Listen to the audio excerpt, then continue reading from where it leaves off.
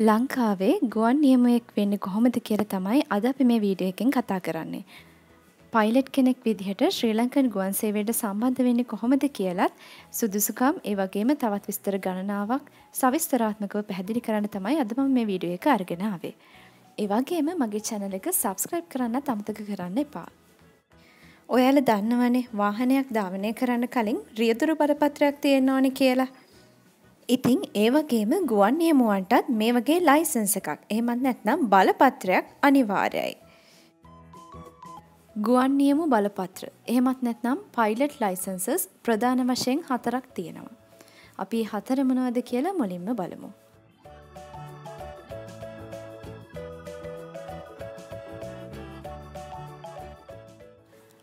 SPL Student Pilot License අපි මේකට කියනවා සිංහලෙන් ශිෂ්‍ය ගුවන් නියමු බලපත්‍රය.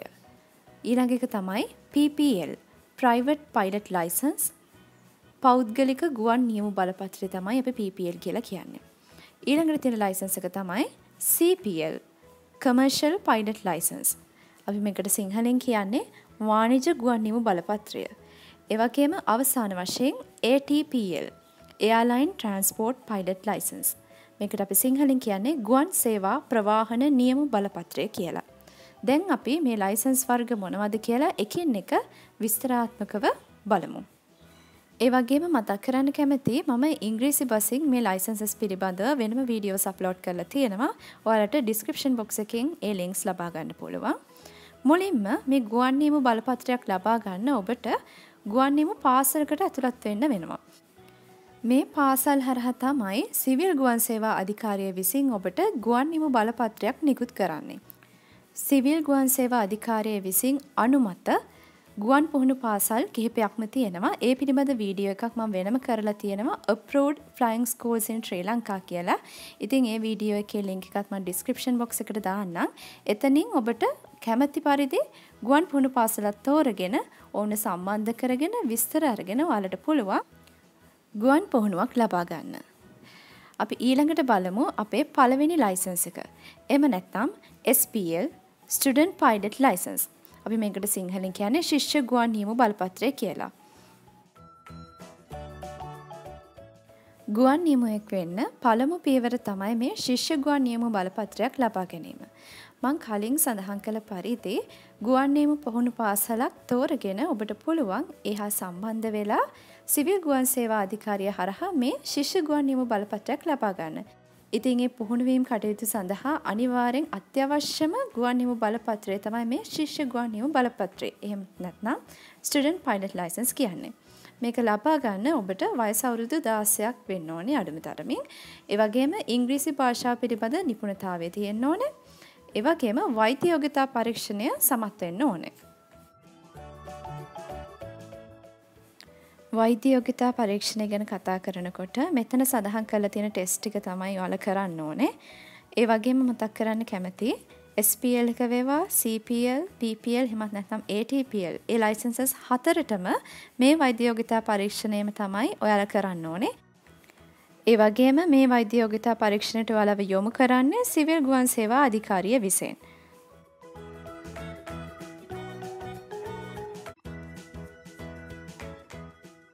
අපි දැන් බලමු මේ ස්ටුඩන්ට් පයිලට් ලයිසන්ස් එහෙමත් නැත්නම් ශිෂ්‍ය ගුවන් බලපත්‍රයක් ලබා ගන්න අවශ්‍ය ලිපි ලේඛන මොනවද කියලා. ආරක්ෂක නිෂ්කාශන හෝ පොලිස් වාර්තාව. ඒ වගේම අධ්‍යාපන සුදුසුකම් වල මුල් පිටපත් සහ පිටපත්. ජාතික හැඳුනුම්පත හෝ විදේශ ගමන් බලපත්‍රය, උපැන්න සහතිකය, ගුවන් නියම පුහුණු පාසලකට ඇතුළත් කිරීමේ සහතිකය. එහෙමත් නැත්නම් ලිපියක්. මුද්දර ප්‍රමාණයේ ඡායාරූප දෙකක් ඒ කියන්නේ වර්ණ ඡායාරූප දෙකක් තමයි අවශ්‍ය. ඒ වගේම මේ ගුවන් නියම බලපත්‍රය ලබා ගැනීමට අදාළ ගාස්තු පිළිබඳවත් අපි දැන් කතා කරමු. වෛද්‍ය පරීක්ෂණ ගාස්තුව රුපියල් 6494යි 760ක්. ඒ වගේම අයදුම්පත් ඇගීමේ ගාස්තුව රුපියල් 5867යි 730ක්. බලපත්‍රය නිකුත් කිරීමේ ගාස්තුව රුපියල් තුන්දහස් එකසි අසූතුනයි සත හැට පහක් වශයෙන් ඔවුන් සඳහන් කරලා තියෙනවා. ඉතින් මීට අමතරව රසායනාගාර ගාස් රෝහලට ගෙවන්න වෙනවා. මං කලින් සඳහන් කරා ඔබට වෛද්‍යයෝගතා පරීක්ෂණයට යොමු වෙන්න වෙනවා. ඉතින් ඒ යොමු වෙන රෝහලට ඔබට රසායනගාර ගාස්තු ගෙවන්න සිද්ධ වෙනවා. ඉතින් ගුවන් පුහුණු පාසලකට ඇතුළත්වීමේ ගාස්තුව මම මෙතන සඳහන් කරලා නැහැ. ආයතනයෙන් ආයතනයට ඒ ගාස්තු වෙනස් වෙනවා. ඔයාලට පුළුවන් මං කලින් කියපු වීඩියෝ එකෙන් කැමති ආයතනයක් තෝරගෙන ඒ පිළිබඳ විස්තර ලබා ගන්න.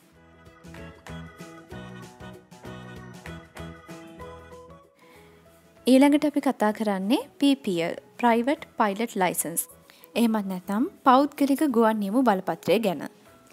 මේක තමයි ගුවන් නියමුවෙක් වශයෙන් සම්බන්ධ වීමට ඔබ කළ යුතු දෙවෙනි පියවර. ඉතින් ශිෂ්‍ය ගුවන් නියමු බලපත්‍රයක් ලබාගෙන ගුවන් පුහුණු පාසලකට සම්බන්ධ වෙලා ඔයාලට පුළුවන් නිසි පුහුණුවක් ලබාගෙන පෞද්ගලික ගුවන් නියමු බලපත්‍රය සඳහා අයදුම් කරන්න. අවම සුදුස්කම් වශයෙන් සඳහන් කරන්න කැමති මේ සඳහා අවශ්‍ය අවම වයස අවුරුදු දාහත ඒ වගේම ඉංග්‍රීසි භාෂාව පිළිබඳ නිපුණතාවය කලින් සඳහන් කර පරිදි වෛද්‍ය යෝග්‍යතා පරීක්ෂණයද ඔබ සමත් වෙලා තියෙන්න ඕනේ. වගේම මතක් කරන්න කැමති මේ ගුවන්යමු බලපත්‍රයෙන් ඔබට ප්‍රයිවට් එයාක්‍රාෆ්ට් එකක් විතරයි පාවිච්චි කරන්න පුළුවන්. ඒ කියන්නේ පෞද්ගලික ගුවන් යානයක විතරයි ඔබට ට්‍රැවල් කරන්න පුළුවන්. ඒ වගේම මතක් කරන්න කැමති ඔබගේ පවුලේ අය සහ හිත මිත්‍රයන්ද ඔබට ඒ ගුවන් යානයේ අරගෙන යන්න පුළුවන්. ඊට අමතරව ඔබට වැටුපක් ලබාගෙන ආයතනයක් හා සම්බන්ධ වෙන්න මේ ගුවන් නියම බලපත්‍රයෙන් හැකියාවක් නැහැ. දැන් අපි බලමු අදාළ ගාස්තු. අයදුම්පත් ඇගීමේ ගාස්තුව රුපියල් 6000යි. බලපත්‍රය නිකුත් කිරීමේ ගාස්තුව රුපියල් 3000යි. වෛද්‍ය පරීක්ෂණ ගාස්තුව රුපියල් 5100යි. විභාග ගාස්තුව එක් විෂයකට රුපියල් 10යි. ඉංග්‍රීසි භාෂා නිපුණතා පරීක්ෂාව සඳහා රුපියල් 3000යි. ඊට අමතරව කලින් සඳහන් කළ පරිදිම රසායනාගාර ගාස්තුව ඔබට රෝහලට ගෙවන්න සිද්ධ වෙනවා.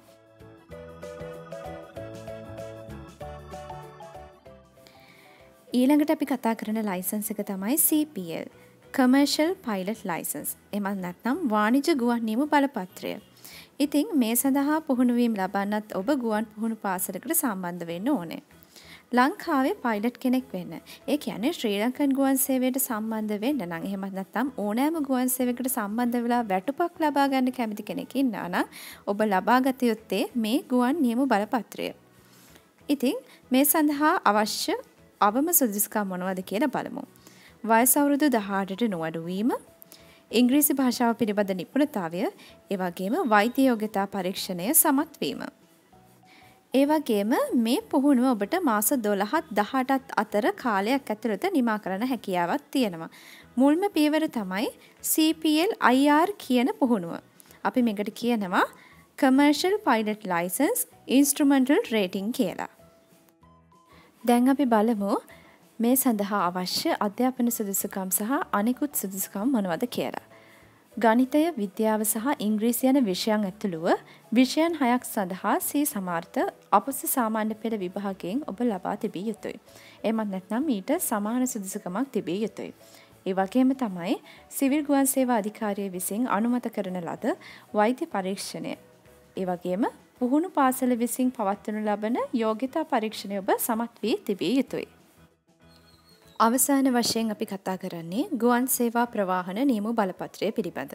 අපි නැත්නම් ATPය Airline Transport Pilot License කියලත් මේ බලපත්‍රය හඳුන්වනවා. ඉතිං ඔයාලට තේරුම් ගැනීමට පහසුවීම සඳහා මම මේ ලයිසන්ස් එක දෙකකට බෙදලා තියෙනවා ෆ්‍රෝසන් ATPය අනිත් එක අන්ෆ්‍රෝසන් ATPL. අපි බලමු මොකද මේ ෆ්‍රෝසන් and අන්ෆ්‍රෝසන් කියන්නේ කියලා. මේ ෆ්‍රෝසන් ATPL එක ඔයාලට CPL ට්‍රේනින් එකත් එක්ක ලබා ගන්න පුළුවන්.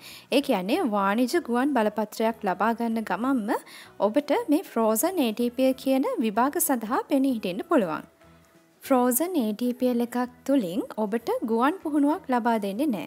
විෂයන් දාහතරකට අදාළ විභාග සමත් වෙන්න තමයි තියෙන්නේ. ඉතින් මේ ෆ්‍රෝසන් ATPL ලයිසන් එකක් ATPL ලයිසන් එකකට කන්වර්ට් කරන්න. එහෙමත් නැත්නම් අන්ෆ්‍රෝසන් කරන්න.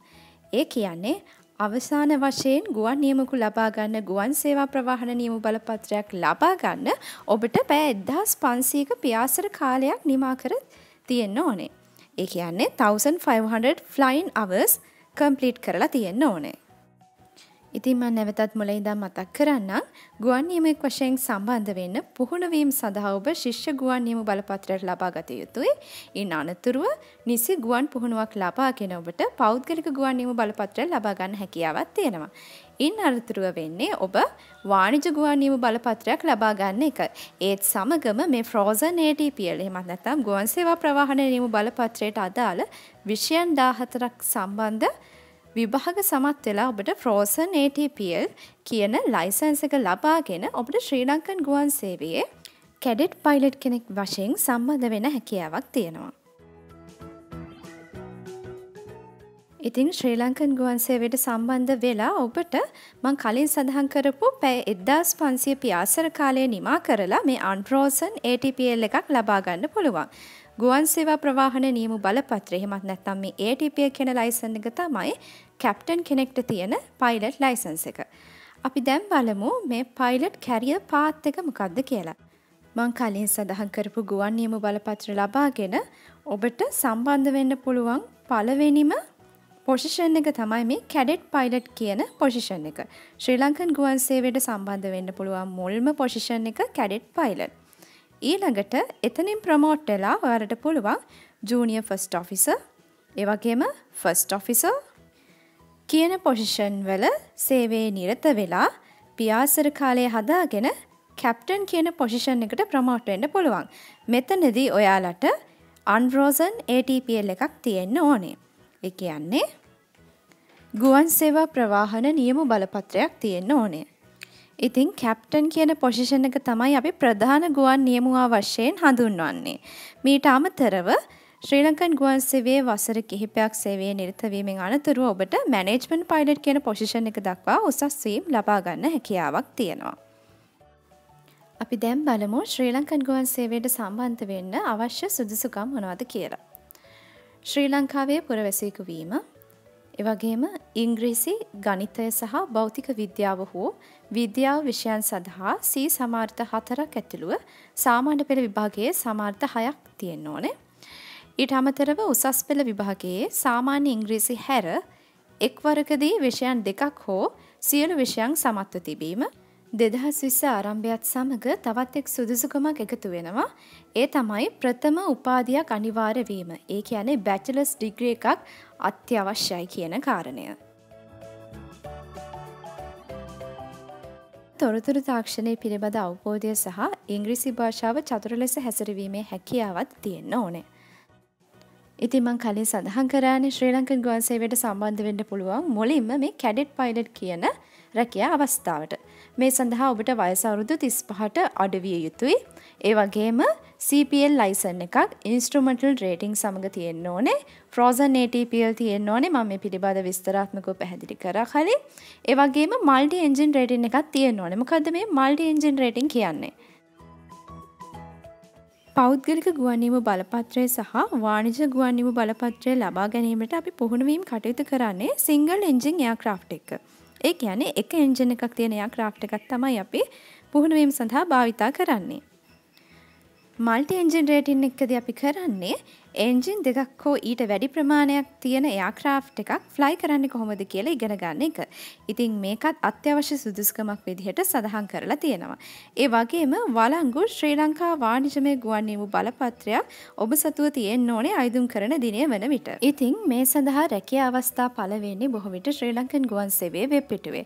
රැකියා අවස්ථාවක් පළ වූ විට ඔබට අවශ්‍ය සුදුසුකම් තියෙනවා නම් ඔබට හැකියාවක් තියෙනවා මේ සඳහන් කරලා තියෙන විද්‍යුත් තැපැල් ලිපිනයට ඔබේ ලිපි ලේඛන අයදුම් පත්‍රයක් සමග යොමු කරන්න. ඒ අයදුම් පත්‍රය ඩවුන්ලෝඩ් කරගන්න අපිට හැකියාවක් තියෙනවා ඩිස්ක්‍රිප්ෂන් බොක්ස් එකේ මම ලින්ක් එක සඳහන් කරලා තියෙනවා. මේ පිළිබඳව යම්කිසි ගැටලුවක් තියෙනවා නම් ඒ වගේම සවිස්තරාත්මකව දැනගන්න කාරණා තියෙනවා නම් ඔබට සිවිල් ගුවන් සේවා අධිකාරිය සමග සම්බන්ධ වෙන්න පුළුවන්.